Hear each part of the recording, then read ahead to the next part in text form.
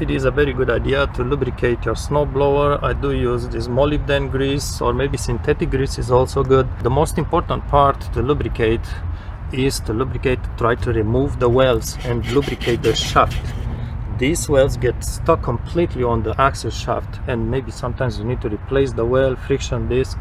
They get stuck after one or two years and it's almost impossible to remove them because there's no lubrication from the factory. That's most important but use a very high quality grease on that part. A cheap grease mineral grease will just get them stuck one two years later on.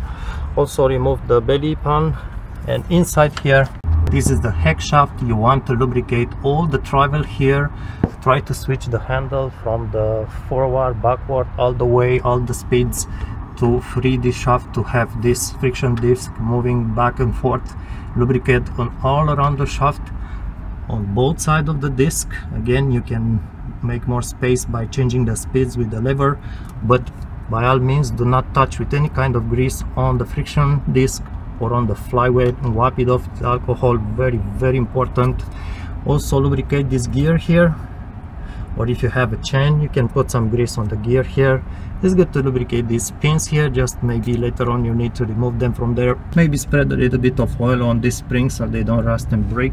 These shear bolts also may tend to get stuck inside the shaft so maybe spread some oil on both sides of them and don't forget to press some grease in with a grease gun every few years on these small nipples. Inside the auger spread some oil on these two locking pins because one day you will need to remove them and they are going to be completely stuck and lastly this shear pin that you have for spare i bet you won't be able to release the nuts on them. They are completely stuck after a few years so just spread them with some oil